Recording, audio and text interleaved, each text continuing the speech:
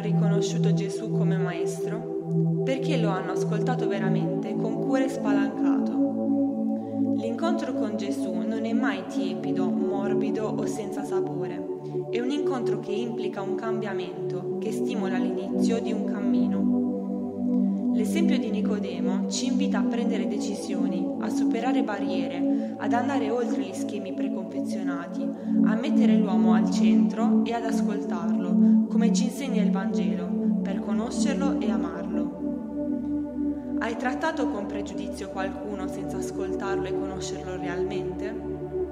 Sei mai andato controcorrente opponendoti agli schemi?